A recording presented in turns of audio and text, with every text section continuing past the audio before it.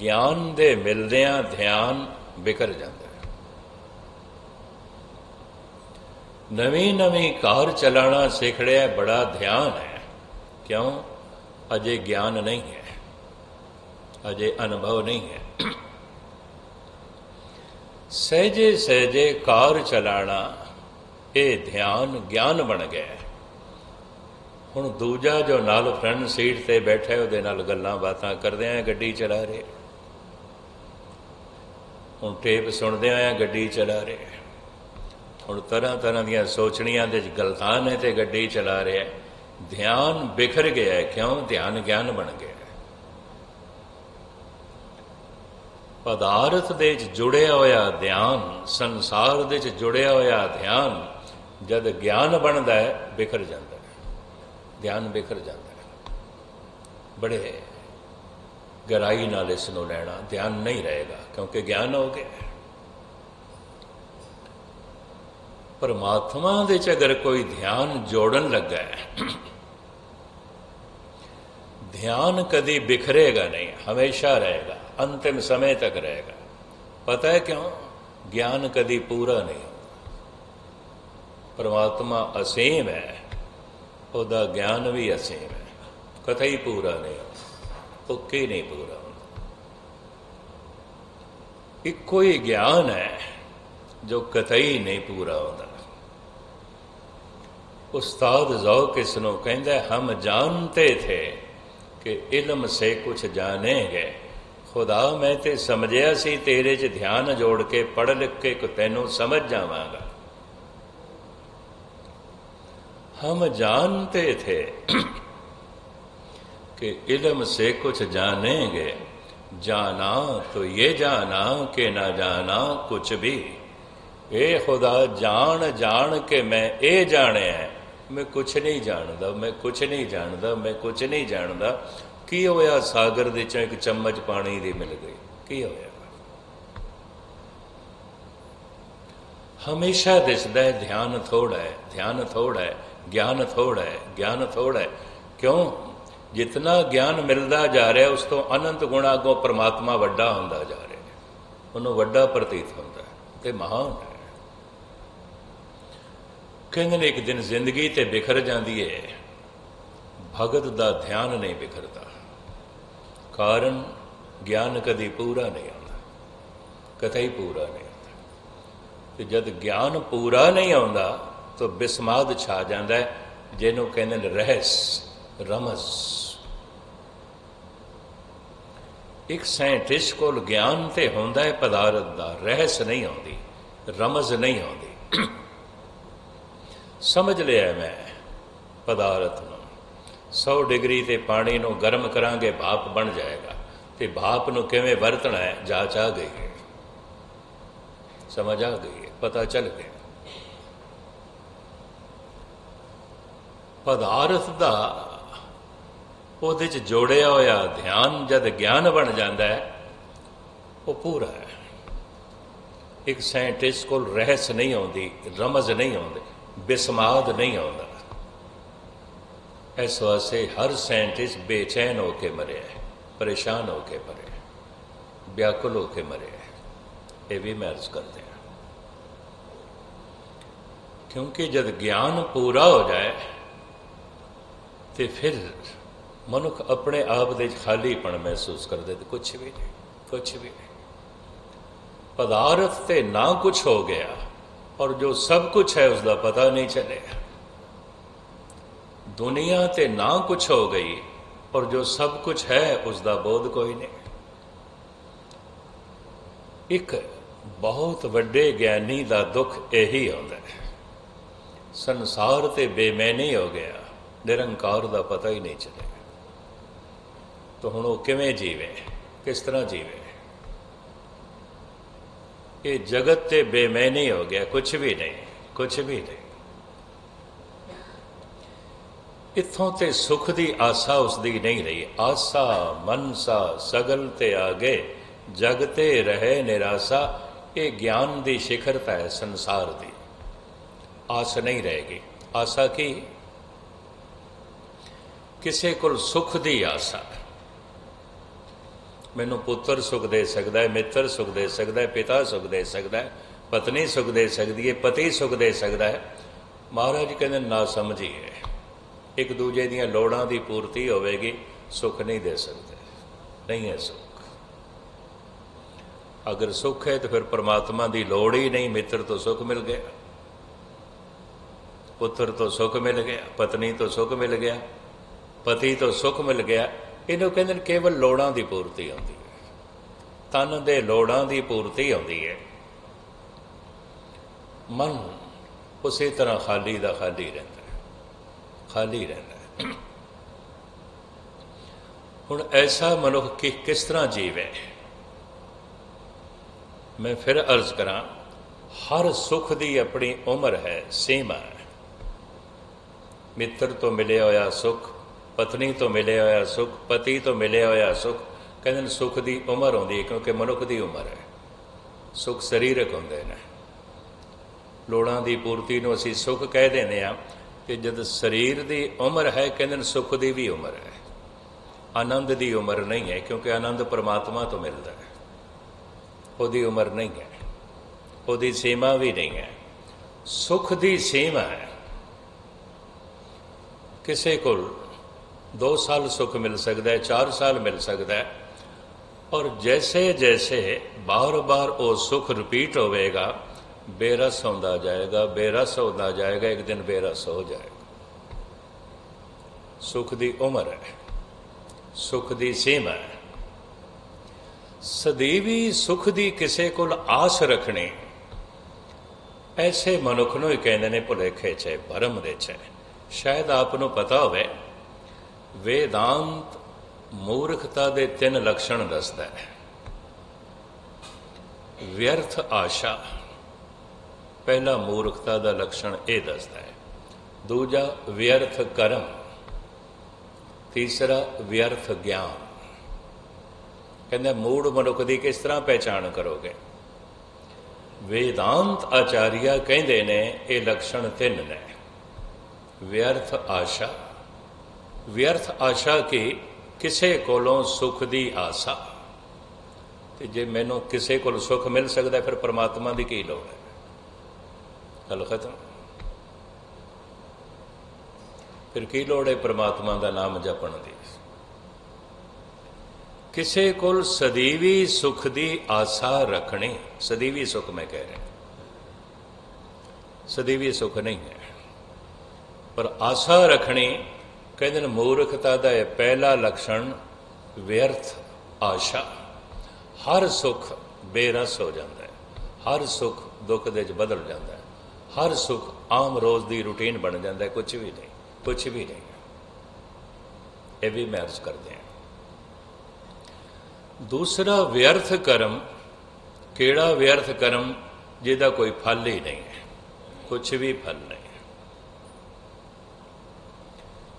ਜੈਸੇ ਹੁਣ ਕਈਏ ਪੁੰਨਿਆਂ ਦਾ ਵਰਤ ਰੱਖਦਾ ਪਿਆ ਮਸਿਆ ਦਾ ਵਰਤ ਰੱਖਦਾ ਪਿਆ ਪਿੱਪਲ ਨੂੰ ਪਾਣੀ ਦਿੰਦਾ ਪਿਆ ਇੱਕ ਤਿਉਹਾਰ ਹੈ ਭਾਰਤ ਦੇ ਵਿੱਚ ਉਸ ਦਿਨ ਮਾਤਾਵਾਂ ਆਵਲੇ ਦੇ ਦਰਖਤ ਨੂੰ ਧਾਗਾ ਬੰਨਣ ਗਿਆ ਆਵਲੇ ਦਾ ਇੱਕ ਦਰਖਤ ਕਿਧਰੇ ਸਾਡੇ ਗੁਰਮਤ ਸਮਾਗਮ ਸਥਾਨ ਤੇ ਕਦੀ ਕਦੀ ਉਹਨਾਂ ਦਾ ਤਿਉਹਾਰ ਸਾਡੇ ਛੋਟੇ ਸਮਾਗਮ ਦੇ ਦਿਨਾਂ ਚ ਆ ਜਾਂਦਾ ਬੜੀਆਂ ਮਾਤਾਵਾਂ ਆਉਂਦੀਆਂ ਹਿੰਦੂ ਘਰਾਣੇ ਦੀਆਂ। ਕਈ ਦਫਾ ਰਾਗੀ ਸਿੰਘ ਔਖੇ ਹੁੰਦੇ ਨੇ ਤੇ ਡਿਸਟਰਬ ਕਰਨ ਗਏ ਵੀ ਆਪਣੇ ਗੀਤ ਗਾਣ ਲੱਗ ਪੈਂਦੀਆਂ ਨੇ। ਤੇ ਕਈ ਦਫਾ ਮੈਨੂੰ ਕਿਹਾ, ਇਹ ਆਵਲਾ ਕੱਟ ਦੇ। ਮੈਂ ਕਹੇ, ਨਹੀਂ, ਲੱਗਿਆ ਹੋਇਆ, ਠੀਕ ਹੈ। ਕਦੀ ਕਦਾਈ ਇਸ ਤਰ੍ਹਾਂ ਹੁੰਦਾ ਹੈ, ਅੱਗੇ ਪਿਛੇ ਤਿਵਾਰ ਉਹਨਾਂ ਦੇ ਨਾਲ ਚ ਨਹੀਂ ਆਉਂਦਾ। ਉਹ ਧਾਗਾ ਲਪੇਟਦੀਆਂ ਨੇ ਪ੍ਰਕਰਮਾ ਕਰਦੀਆਂ ਨੇ, ਗੀਤ ਗਾਉਂਦੇ ਰਹਿੰਦੀਆਂ ਫਿਰ ਉੱਥੇ ਪੈਸੇ ਰੱਖ ਜਾਂਦੀਆਂ ਨੇ। ਉਥੇ ਦਾ ਚੌਕੀਦਾਰ ਚੁੱਕ ਲੈਂਦਾ, ਲੱਸੀ ਪਾਉਂਦੀਆਂ ਨੇ, ਦੁੱਧ ਪਾਉਂਦੀਆਂ ਨੇ, ਉਹਨੇ ਵਿਅਰਥ ਕਰਾਂਗੇ ਦੁੱਧ ਪਿਲਾਣਾ ਕਿਸੇ ਜੀਵ ਜੰਤੂ ਨੂੰ ਪਿਲਾਓ। ਦਰਖਤ ਦੀ ਖੁਰਾਕ ਦੁੱਧ ਨਹੀਂ ਹੈ। ਜੈਸੇ ਪਾਣੀ ਮਚ ਪਾਣੀ ਦੇ ਵਿੱਚ ਰਹਿ ਸਕਦੀ ਹੈ ਮਛਲੀ, ਦੁੱਧ ਦੇ ਵਿੱਚ ਨਹੀਂ ਰੱਖ ਸਕਦੀ। ਦੁੱਧ ਦੇ ਮਟਕੇ 'ਚ ਪਾਓਗੇ, ਮਰ ਜਾਏਗੀ। ਦੁੱਧ ਉਸ ਦੀ ਗਿਜ਼ਾ ਨਹੀਂ ਹੈ, ਪਾਣੀ ਹੈ। ਦਰਖਤ ਦੀ ਖੁਰਾਕ ਦੁੱਧ ਨਹੀਂ ਹੈ, ਪਾਈ ਜਾਂਦਾ ਲੱਸੀ ਪਾਈ ਜਾਂਦਾ ਹੈ, ਧਾਗਾ ਲਪੇਟੀ ਜਾਂਦੇ ਨੇ ਪੈਸੇ ਸੁੱਟੀ ਜਾਂਦੇ ਨੇ, ਪੈਸੇ ਦਰਿਆਵਾਂ 'ਚ ਸੁੱਟੀ ਜਾਂਦੇ ਨੇ, ਪੈਸੇ ਸਰੋਵਰਾਂ 'ਚ ਸੁੱਟੀ ਜਾਂਦੇ ਨੇ। ਮੈਂ ਸਮਝਦਾ ਸੀ ਇਹ ਕਰਮ ਕਾਂਡ ਸਿਰਫ ਭਾਰਤ ਦੇ 'ਚ ਹੈ, ਮੈਂ ਤੇ ਸਾਰੇ ਯੂਰਪ ਦੇ 'ਚ ਦੇਖਿਆ ਜਿੱਥੇ ਦੇਖਣਗੇ ਪਾਣੀ ਪੈਸੇ ਸੁੱਟਦੇ ਨੇ, ਅੰਗਰੇਜ਼ ਪੈਸੇ ਸੁੱਟਦੇ ਨੇ। ਹੈਰਾਨਗੀ ਹੋਈ ਮੈਨੂੰ ਦੇਖ ਕੇ। ਇਹਨੂੰ ਕਹਿੰਦੇ ਨੇ ਵਿਅਰਥ ਕਰਮ। ਵਿਅਰਥ ਕਰਮ ਤੀਸਰਾ ਵਿਅਰਥ ਗਿਆਨ ਜਿਹਨੂੰ ਅਮਲ ਦੇ ਚ ਨਹੀਂ ਲਿਆਣਾ ਨਹੀਂ ਲਿਆਣਾ ਪਤਾ ਤੇ ਚੱਲ ਗਏ ਲੇਕਿਨ ਅਮਲ ਦੇ ਚ ਨਹੀਂ ਲੈਣਾ ਵਰਤਨ ਦੇ ਚ ਨਹੀਂ ਲਿਆਣਾ ਵੇਦਾਂਤ ਆਚਾਰੀਆ ਕਹਿੰਦੇ ਨੇ ਮੂਰਖਤਾ ਦੇ ਤਿੰਨ ਲਕਸ਼ਣ ਨੇ ਵਿਅਰਥ ਆਸ਼ਾ ਵਿਅਰਥ ਕਰਮ ਵਿਅਰਥ ਗਿਆਨ ਹੁਣ ਮੈਂ ਫਿਰ ਅਰਜ਼ ਕਰਾਂ, ਗਿਆਨ ਪ੍ਰਾਪਤ ਹੁੰਦਾ ਹੈ ਧਿਆਨ ਨਾਲ। ਬਿਨਾ ਧਿਆਨ ਤੋਂ ਗਿਆਨ ਨਹੀਂ ਪ੍ਰਾਪਤ ਹੁੰਦਾ। ਕਿਸੇ ਚੀਜ਼ ਦਾ ਵੀ ਗਿਆਨ ਲੈਣਾ ਹੈ, ਉਹਦੇ 'ਚ ਧਿਆਨ ਪੂਰਾ ਦੇਣਾ ਪਏਗਾ। ਧਿਆਨ ਬੀਜ ਹੈ ਗਿਆਨ ਦਾ। ਚਾਹੇ ਨੇਕੀ ਦਾ ਗਿਆਨ ਲੈਣਾ ਹੈ, ਬਦੀ ਦਾ ਗਿਆਨ ਲੈਣਾ ਹੈ, ਪਦਾਰਥ ਦਾ ਗਿਆਨ ਲੈਣਾ ਹੈ, ਪ੍ਰਮਾਤਮਾ ਦਾ ਗਿਆਨ ਲੈਣਾ ਹੈ, ਬਿਨਾ ਧਿਆਨ ਤੋਂ ਨਹੀਂ ਮਿਲੇਗਾ। ਭਾਰਤ ਦੇ ਤੇ ਧਰਮ ਨੂੰ ਕਹਿੰਦੇ ਨੇ ਧਿਆਨ ਸਾਧਨਾ। ਬਈ ਉਹ ਧਿਆਨ ਸਾਧਨਾ ਕਰ ਰਹੇ ਹੈ। ਕਲਗੀਧਰ ਪਾਤਸ਼ਾਹ ਕਹਿੰਦੇ ਨੇ, ਧਿਆਨ ਧਰੋ ਤੈ ਕੋ ਮਨ ਮੈਂ, ਜੈ ਕੋ ਅਮ ਤੋਜ ਸਵੇ ਜਗ ਛਾਰ। ਧਿਆਨ ਜੋੜੋ ਇਹ ਸਾਰੀ ਧਿਆਨ ਸਾਧਨਾ ਦੀ ਗੱਲ ਹੈ। ਜਿਸ ਨਾਲ ਧਿਆਨ ਨਹੀਂ ਜੁੜਦਾ ਪਿਆ ਉਸ ਦਾ ਗਿਆਨ ਨਹੀਂ ਮਿਲੇਗਾ। ਹੁਣ ਦੂਸਰਾ ਨੁਕਤਾ ਪਦਾਰਥ ਦਾ ਧਿਆਨ ਜਦ ਗਿਆਨ ਬਣ ਜਾਂਦਾ ਹੈ, ਗਿਆਨ ਬਿਖਰ ਜਾਂਦਾ ਹੈ, ਧਿਆਨ ਵੀ ਬਿਖਰ ਜਾਂਦਾ ਹੈ। ਪਤਾ ਹੈ ਕਿਉਂ? ਮੈਂ ਇੱਕ ਦਫਾ ਫਿਰ ਦੁਹਰਾਉਂਦਾ ਤਾਂ ਕਿ ਗੱਲ ਪੂਰੀ ਪਕੜ ਦੇ ਚ ਆ ਜਾਏ। ਬੜਾ ਧਿਆਨ ਹੈ ਨਵੀਂ ਨਵੀਂ ਸਾਈਕਲ ਚਲਾਉਣ ਦੇ ਬੜਾ ਧਿਆਨ ਹੈ। ਪਤਾ ਹੈ, ਧਿਆਨ ਹਟਿਆ, ਸਾਈਕਲ ਵੀ ਗਈ ਤੇ ਮੈਂ ਵੀ ਗਿਆ। ਬੜਾ ਧਿਆਨ ਹੈ, ਧਿਆਨ ਗਿਆਨ ਬਣ ਗਿਆ। ਜੈਸੇ ਧਿਆਨ ਗਿਆਨ ਬਣ ਗਿਆ ਧਿਆਨ ਬਿਖਰ ਗਿਆ ਧਿਆਨ ਹਟ ਗਿਆ ਕਿਉਂ ਧਿਆਨ ਗਿਆਨ ਬਣ ਗਿਆ ਹੁਣ ਤੇ ਦੂਜੇ ਨਾਲ ਗੱਲਾਂ ਬਾਤਾਂ ਕਰਦਿਆਂ ਵੀ ਸਾਈਕਲ ਚਲਾ ਰਿਹਾ ਹੁਣ ਧਿਆਨ ਨਹੀਂ ਹੈ ਨਹੀਂ ਹੈ ਹੁਣ ਪੂਰਾ ਧਿਆਨ ਨਹੀਂ ਹੈ ਸ਼ੁਰੂ ਸ਼ੁਰੂ ਦੇ ਕਾਰ ਚਲਾਣਾ ਸਿੱਖ ਰਿਹਾ ਬੜਾ ਧਿਆਨ ਹੈ ਬੜਾ ਧਿਆਨ ਹੈ ਬੜਾ ਧਿਆਨ ਹੈ ਇੱਕ ਦਿਨ ਧਿਆਨ ਗਿਆਨ ਬਣ ਗਿਆ ਹੁਣ ਤੇ ਕੀ ਹੈ ਨਾਲ ਬੈਠੇ ਸਾਥੀ, ਨਾਲ ਗੱਲਾਂ ਬਾਤਾਂ ਕਰਦੇ ਆ ਗੱਡੀ ਚਲਾ ਰਹੇ ਹੁਣ ਤੇ ਟੇਪ ਸੁਣਦੇ ਆ ਗੱਡੀ ਚਲਾ ਰਹੇ ਕਿਉਂ? ਧਿਆਨ ਬਿਖਰ ਗਿਆ। ਕਿਉਂ ਬਿਖਰ ਗਿਆ? ਧਿਆਨ ਗਿਆਨ ਬਣ ਗਿਆ। ਇੱਕ ਗਿਆਨ ਕਤਈ ਬਿਖਰਦਾ ਨਹੀਂ, ਇੱਕ ਧਿਆਨ ਕਤਈ ਬਿਖਰਦਾ ਨਹੀਂ, ਕਿੱਥੇ? ਸ਼ਬਦ ਦੇ ਜੋੜਿਆ ਹੋਇਆ ਪ੍ਰਭੂ ਦੇ ਜੋੜਿਆ ਹੋਇਆ ਕਿਉਂ? ਗਿਆਨ ਕਦੀ ਪੂਰਾ ਨਹੀਂ ਹੁੰਦਾ। ਹੁੰਦਾ ਹੀ ਕਰੋੜਾਂ ਜ਼ਿੰਦਗੀਆਂ ਮਨੁੱਖ ਪ੍ਰਾਪਤ ਕਰ ਲਵੇ, ਤਾਂ ਵੀ ਪਰਮਾਤਮਾ ਕੁਝ ਬਾਕੀ ਰਹਿ ਜਾਂਦਾ ਹੈ। ਬਹੁਤਾ ਕਹੀਏ, ਬਹੁਤਾ ਬਹੁਤਾ ਪਦਾਰਥ ਦੇ ਚ ਧਿਆਨ ਜੋੜਿਆ ਹੈ ਗਿਆਨ ਮਿਲ ਗਿਆ, ਧਿਆਨ ਬਿਖਰ ਗਿਆ। ਪਰਮਾਤਮਾ ਦੇ ਚ ਧਿਆਨ ਜੋੜਿਆ, ਗਿਆਨ ਮਿਲਿਆ। ਧਿਆਨ ਬਿਖਰਦਾ ਨਹੀਂ, ਕਿਉਂ? ਗਿਆਨ ਕਦੀ ਪੂਰਾ ਨਹੀਂ ਹੁੰਦਾ। ਪੂਰਾ ਨਹੀਂ ਹੁੰਦਾ ਔਰ ਜਿਤਨਾ ਮਨੁੱਖ ਜਾਣਦਾ ਹੈ, ਕਹਿੰਦਾ ਕੁਝ ਵੀ ਨਹੀਂ ਤੇ ਕੁਝ ਵੀ ਨਹੀਂ ਇਹ ਤੇ ਕੁਝ ਵੀ ਨਹੀਂ। ਅਗਰ ਕੋਈ ਇਹ ਜਾਣਨ ਦਾ ਦਾਵਾ ਕਰ ਲਵੇ, ਮੈਂ ਪ੍ਰਮਾਤਮਾ ਨੂੰ ਪੂਰਾ ਜਾਣ ਲਿਆ, ਜਗਤ ਗੁਰੂ ਬਾਬਾ ਗੁਰੂ ਨਾਨਕ ਦੇਵ ਜੀ ਮਹਾਰਾਜ ਜੀ ਕਹਿੰਦੇ ਨੇ, ਸੋਈ ਅਜਾਨ, ਕਹੇ ਮੈਂ ਜਾਣਿਆ। ਅਣਜਾਣ ਸਮਝ ਲਓ, ਮੂੜ ਸਮਝ ਲਓ। ਸੋਈ ਅਜਾਨ, ਕਹੇ ਮੈਂ ਜਾਣਿਆ। ਜਾਣਨ ਹਾਰ ਨਾ ਛਾਨਾ ਰੇ ਜਿਹੜੇ ਥੋੜੇ ਬਹੁਤ ਵੀ ਅਨੁਭਵੀ ਨੇ, ਜ਼ਰੂਰ ਪਕੜ ਦੇ ਚਾਹੇਗੀ ਪਰਮਾਤਮਾ ਦੇ ਚ ਇੱਕ ਦਫਾ ਧਿਆਨ ਜੁੜ ਜਾਏ, ਵਿਖਰਦਾ ਨਹੀਂ। ਕਿਉਂ? ਗਿਆਨ ਕਦੀ ਪੂਰਾ ਨਹੀਂ ਹੁੰਦਾ। ਮਹਾਰਾਜ ਤੇ ਇੱਥੇ ਤੱਕ ਕਹਿੰਦੇ ਨੇ, ਅਵਤਾਰਾਂ ਕੋਲ ਵੀ ਗਿਆਨ ਪੂਰਾ ਨਹੀਂ ਆਉਂਦਾ। ਅਵਤਾਰ ਨਾ ਪਾਵੇਂ ਅੰਤ, ਪਰਮੇਸ਼ਰ ਪਾਰ ਬ੍ਰਹਮ ਬੇਅੰਤ। ਮਹਾਰਾਜ ਤੈਂਜ ਕਹਿੰਦੇ ਠੀਕ ਹੈ, ਕੋਈ ਅੰਸਾ ਅਵਤਾਰ ਹੈ, ਕੋਈ ਦੋ ਕਲਾ ਅਵਤਾਰ ਹੈ, ਕੋਈ ਅੱਠ ਕਲਾ ਅਵਤਾਰ ਹੈ, ਕੋਈ 12 ਕਲਾ 14 ਕਲਾ, ਕੋਈ 16 ਕਲਾ ਅਵਤਾਰ ਹੈ, ਹੁਣ ਪੈ। ਅਵਤਾਰ ਨਾ ਪਾਵੇਂ ਅੰਤ ਪਰਮੇਸ਼ਰ ਪਾਰ ਬ੍ਰਹਮ ਬੇਅੰਤ।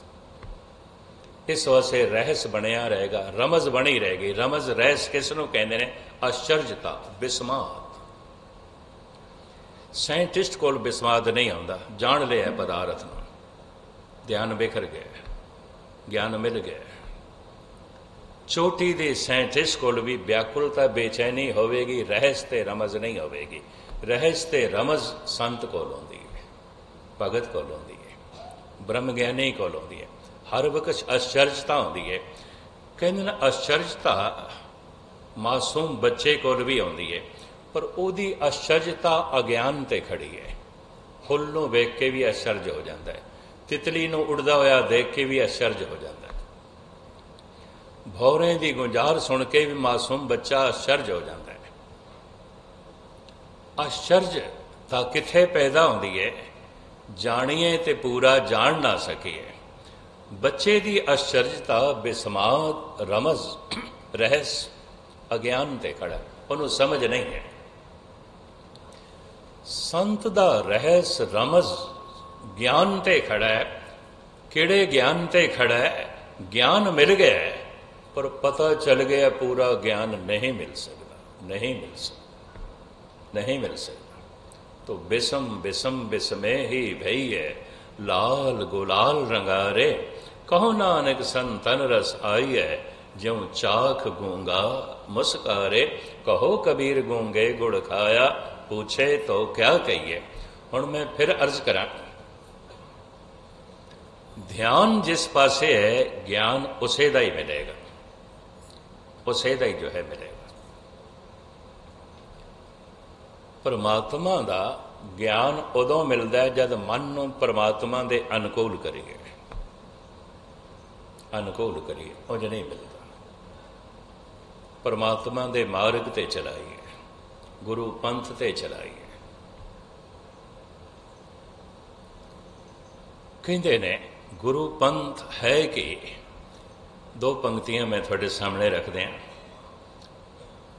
ਇਹਦੀ ਸੰਤ ਵਿਨੋਬਾ ਭਾਵੇ ਨੇ ਬੜੀ ਭਾਰੀ ਵਿਆਖਿਆ ਕੀਤੀ ਹੈ ਮੰਨੇ ਮਗ ਨ ਚੱਲੇ ਪੰਥ ਮੰਨੇ ਧਰਮ ਸੇ ਤੀ ਸੰਬੰਧ ਮਹਾਰਾਜ ਕਹਿੰਦੇ ਜੋ ਧਰਮ ਦਾ ਪੰਥ ਹੈ ਉਸ ਤੇ ਤੇ ਚੱਲਦਾ ਨਹੀਂ ਤੇ ਜੋ ਧਰਮ ਦਾ ਪੰਥ ਨਹੀਂ ਹੈ, ਉਸੇ ਤੇ ਚੱਲਦਾ ਹੈ। ਧਰਮ ਨੂੰ ਮੰਨਣ ਵਾਲਾ ਉਸ ਪੰਥ ਤੇ ਚੱਲਦਾ ਹੀ ਨਹੀਂ, ਜਿਹੜਾ ਪੰਥ ਪਰਮਾਤਮਾ ਤੱਕ ਜਾਂਦਾ ਹੀ ਨਹੀਂ। ਮੰਨੇ ਮਗ ਨ ਚੱਲੇ ਪੰਥ। ਕਹਿੰਦੇ ਨੇ ਮਾਰਗ ਪਰਮਾਤਮਾ ਤੱਕ ਜਾਂਦਾ ਹੈ, ਭਾਵ ਇਹ ਕਰਮ ਧਾਰਮਿਕ ਹੈ। ਪਰ ਜਿਸ ਕਰਮ ਦੇ ਵਿੱਚ ਧਰਮ ਦੀ ਸੁਗੰਧ ਨਹੀਂ ਹੈ, ਪ੍ਰਭੂ ਨੂੰ ਮੰਨਣ ਵਾਲਾ ਉਸ ਮਾਰਗ ਤੇ ਨਹੀਂ ਚਲੇਗਾ, ਉਹ ਕਰਮ ਕਾਂਡ ਨਹੀਂ ਕਰੇਗਾ। ਨਹੀਂ ਕਰੇਗਾ ਤੋ ਚਲੋ, ਫਿਰ ਧਰਮ ਦਾ ਪੰਥ ਕੀ ਹੈ? ਇਹ ਸ਼ਲੋਕ ਵਾਰਾਂ ਤੋਂ ਵਧੇਤ ਗੁਰੂ ਨਾਨਕ ਦੇਵ ਜੀ ਮਹਾਰਾਜ ਸਮਝਾਉਂਦੇ ਨੇ, ਬੜੇ ਗਹਿਰਾਈ ਨਾਲ ਲੈਣਾ। ਮਹਾਰਾਜ ਕਹਿੰਦੇ ਨੇ, ਪੰਥਾ ਪ੍ਰੇਮ ਨਾ ਜਾਣਈ, ਭੂਲੀ ਫਿਰੇ ਗਵਾਰ, ਨਾਨਕ ਹਰ ਬਿਸਰਾਏ ਕੇ, ਆਉਂਦੇ ਨਰਕ ਅੰਧਾਰ। ਪੰਥਾ ਪ੍ਰੇਮ ਪ੍ਰੇਮ ਦਾ ਪੰਥ ਹੀ ਪ੍ਰਭੂ ਦਾ ਪੰਥ ਹੈ। ਪ੍ਰੇਮ ਦਾ ਪੰਥ ਹੀ ਪਰਮਾਤਮਾ ਦਾ ਪੰਥ ਹੈ। ਪ੍ਰੇਮ ਦਾ ਪੰਥ ਹੀ ਗੁਰੂ ਦਾ ਪੰਥ ਹੈ। ਗੁਰੂ ਪੰਥ। ਪੂਰਨ ਪ੍ਰੇਮ ਪ੍ਰਤੀਤ ਸਜੇ ਬ੍ਰਤ ਗੋੜ ਮੜੀ, ਮਠ ਭੂਲ ਨਾ ਮਾਨੇ ਮੈਂ ਅਕਸਰ ਅਰਜ਼ ਕਰਦਾ ਹੁੰਦਾ, ਦੋ ਗਿਆਨੀ ਲੜ ਪੈਣਗੇ, ਗਿਆਨ ਨਾਲ ਹਿਰਦਾ ਸ਼ੁੱਧ ਨਹੀਂ ਆਉਂਦਾ। ਦੋ ਦਾਨੇ ਵੀ ਲੜ ਪੈਣਗੇ, ਦਾਨ ਵੀ ਹਿਰਦੇ ਨੂੰ ਸ਼ੁੱਧ ਨਹੀਂ ਕਰਦਾ। ਦੋ ਸੇਵਾਦਾਰ ਵੀ ਲੜ ਪੈਣਗੇ। ਸੇਵਾ ਕਰਦੇ ਹੋਇਆ ਅਕਸਰ ਭਾਰਤ ਦੇ ਦੇਖਿਆ ਭਾਂਡੇ ਮਾਂਜਣ ਵਾਲੇ ਬੰਦਿਆਂ ਨੂੰ ਮਾਂਜਣ ਲੱਗ ਪੈਂਦੇ ਨੇ। ਜੋੜੇ ਝਾੜਨ ਵਾਲੇ ਮਨੁੱਖਾਂ ਨੂੰ ਝਾੜਨ ਲੱਗ ਪੈਂਦੇ ਨੇ। ਤੱਪੜ ਝਾੜਨ ਵਾਲੇ ਫਿਰ ਬੰਦਿਆਂ ਨੂੰ ਝਾੜਨ ਲੱਗ ਪੈਂਦੇ ਨੇ। ਸੇਵਾ ਕਰਕੇ ਵੀ ਹਿਰਦਾ ਸ਼ੁੱਧ ਨਹੀਂ ਆਉਂਦਾ। ਹਿਰਦਾ ਕਿਸ ਨਾਲ ਸ਼ੁੱਧ ਹੁੰਦਾ ਹੈ? ਪ੍ਰੇਮ ਨਾਲ। ਪ੍ਰੇਮ ਨਾਲ। ਜਿਸ ਨਾਲ ਪ੍ਰੇਮ ਹੈ, ਉਸ ਨਾਲ ਧੋਖਾ ਕਰਨਾ ਬੜਾ ਔਖਾ ਜਿਸ ਨਾਲ ਪ੍ਰੇਮ ਹੈ, ਉਹਨੂੰ ਚੋਟ ਪਹੁੰਚਾਣੀ ਬੜੀ ਔਖੀ ਹੈ। ਜਿਸ ਨਾਲ ਪ੍ਰੇਮ ਹੈ, ਉਸ ਨਾਲ ਛਲ ਕਪਟ ਕਰਨਾ ਬੜਾ ਔਖਾ ਹੈ। ਜਿਸ ਨਾਲ ਪ੍ਰੇਮ ਹੈ, ਉਹਦੇ ਪ੍ਰਤੀ ਹਿਰਦਾ ਸ਼ੁੱਧ ਹੋ ਜਾਂਦਾ ਹੈ ਤੇ ਸਾਰੇ ਬ੍ਰਹਿਮੰਡ ਨਾਲ ਪ੍ਰੇਮ, ਪ੍ਰਮਾਤਮਾ ਨਾਲ ਪ੍ਰੇਮ ਦਾ ਮਤਲਬ ਕੀ ਹੈ? ਸਮੂਹ ਨਾਲ ਪ੍ਰੇਮ, ਪੂਰਨ ਪ੍ਰੇਮ ਪ੍ਰਤੀਤ ਸਜੇ। ਬ੍ਰਤ ਗੋੜ ਮੜੀ ਮਠ ਬੋਲ ਨਵਾਨੇ ਉਹਦਾ ਉਸ ਦਾ ਹਿਰਦਾ ਸਾਰਿਆਂ ਦੇ ਪ੍ਰਤੀ ਸ਼ੁੱਧ ਹੋ ਜਾਂਦਾ ਪ੍ਰੇਮ ਤੋਂ ਬਿਨਾ ਹਿਰਦੇ ਦੀ ਸ਼ੁੱਧੀ ਨਹੀਂ ਆਉਂਦੀ। ਪਰ ਹੁਣ ਪ੍ਰੇਮ ਕਿਸ ਤਰ੍ਹਾਂ ਪੈਦਾ ਹੁੰਦਾ ਹੈ? ਜਿਹਨੂੰ ਰੋਜ਼-ਰੋਜ਼ ਯਾਦ ਕਰੀਏ ਯਾਦ ਕਰੀਏ। ਯਾਦ ਹੀ ਪ੍ਰੇਮ ਬਣ ਜਾਂਦੀ। ਜਿਵੇਂ ਖਾਦਾ ਹੋਇਆ ਭੋਜਨ ਕੁਝ ਪੜਾਵਾਂ ਤੋਂ ਲੰਘ ਕੇ ਇੱਕ ਦਿਨ ਖੂਨ ਬਣ ਜਾਂਦਾ ਹੈ। ਬਾਰ-ਬਾਰ ਦੀ ਯਾਦ ਹੀ ਪ੍ਰੇਮ ਬਣ ਜਾਂਦੀ ਹੈ। ਪਰ ਸਵਾਲ ਇਹ ਪੈਦਾ ਹੁੰਦਾ ਹੈ, ਹਿਰਦਾ ਕਿਹਨੂੰ ਯਾਦ ਕਰੇਗਾ? ਜਿਸ ਤੋਂ ਹਿਰਦਾ ਪ੍ਰਭਾਵਿਤ ਹੈ, ਦੂਜੇ ਨੂੰ ਨਹੀਂ ਯਾਦ ਕਰ ਸਕਦਾ। ਜਿਸ ਤੋਂ ਮਨ ਪ੍ਰਭਾਵਿਤ ਨਹੀਂ ਮਨ ਉਸ ਨੂੰ ਯਾਦ ਨਹੀਂ ਕਰੇਗਾ। ਇਹ ਵੀ ਮੈਂ ਕਰਦਾ ਪਰਿਵਾਰ ਤੋਂ ਮਨ ਪ੍ਰਭਾਵਿਤ ਹੈ, ਪਰਿਵਾਰ ਦੀ ਯਾਦ ਆਪੇ ਚੱਲਦੀ ਹੈ, ਆਪੇ ਚੱਲਦੀ ਹੈ। ਕਿਆ ਵਾਜੇ ਵਜਾਣ ਦੀ ਲੋੜ ਹੈ ਪੁੱਤਰ ਨੂੰ ਯਾਦ ਕਰਨ ਵਾਸਤੇ? ਪਤੀ ਪਤਨੀ ਨੂੰ ਯਾਦ ਕਰਨ ਵਾਸਤੇ ਕਥਾ ਕੀਰਤਨ ਦੀ ਲੋੜ ਹੈ?